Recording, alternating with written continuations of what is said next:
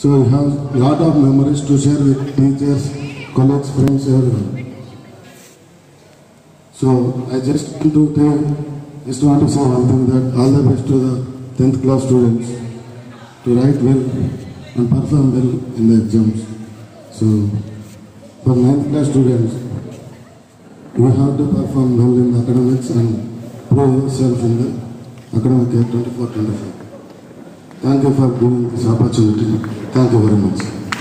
Thank you, sir. Thank you for uh, giving us a valuable words. See on here, again, uh, the dedication is now in the pass right of the 10th class students and there is a welcome of uh, 10th class students.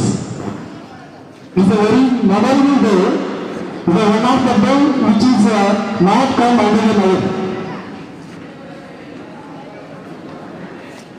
At the same time, in your school, you have a lot of memories.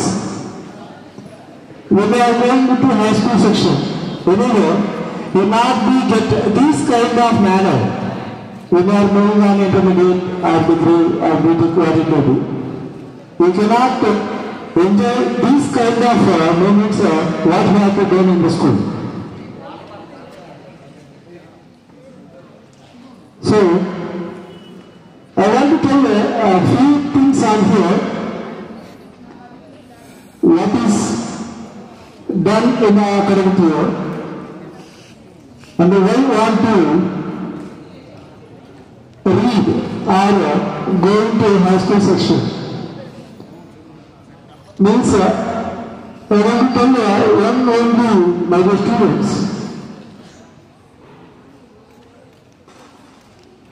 It is the first step you are moving in our life. Who is uh, passed out on here, 10th class? It is the first step. It is the step which you have to reach your, reach your goals.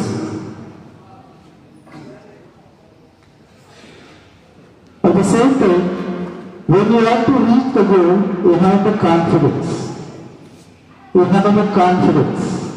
If you lost your confidence, you cannot reach your goal. So I want to tell a small story on here. What is the confidence?